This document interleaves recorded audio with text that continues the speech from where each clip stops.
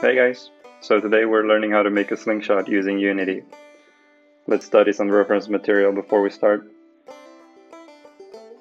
This is important to know how slingshots interact with the environment and to get a feeling of how the physics work. We'll try to recreate this scene from Dennis the Menace, as good as we can at least. Alright, let's get started. Let's create a Unity project add a plane and an empty game object that will serve as our slingshot. We'll add a simple slingshot mesh that I made. Let's create a new game object that will represent our slingshot string.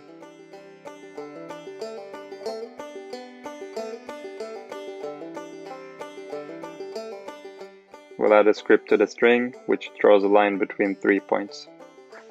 Super simple.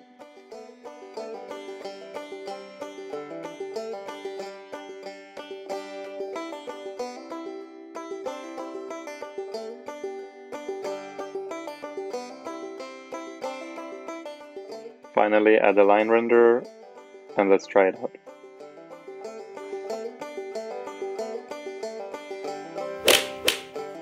We still don't have any way of shooting projectiles, so let's set that up. Create a script for the slingshot. We'll need to store a transform that will hold our projectile prefab and two points that we will move our center point between. We also want a reference to our line so we can make it snap. Let's create a function that prepares a projectile and draws our slingshot back.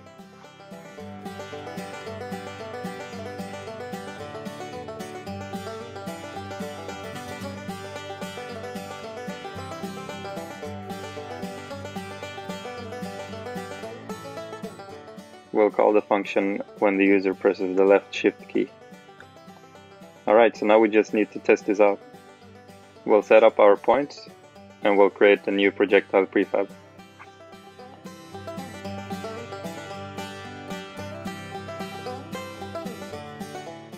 Wow, it seems to work. What's left is just creating a function that shoots the projectile. So let's get to it.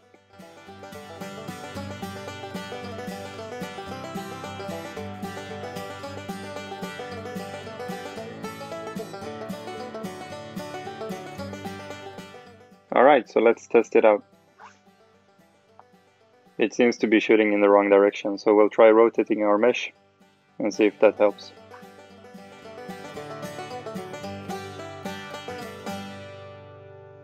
That's looking a lot better. So I see we have some bugs, so we'll try to squash those and we'll put this into our game world and see what happens.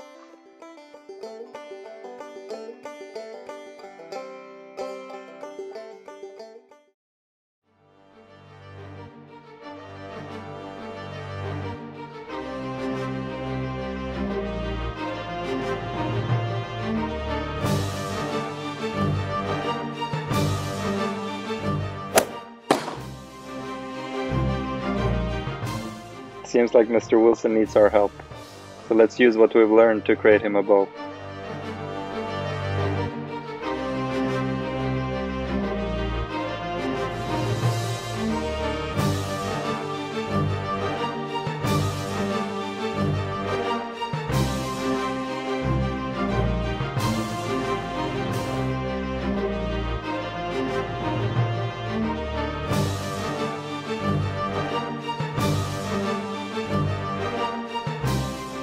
Now he's ready for revenge.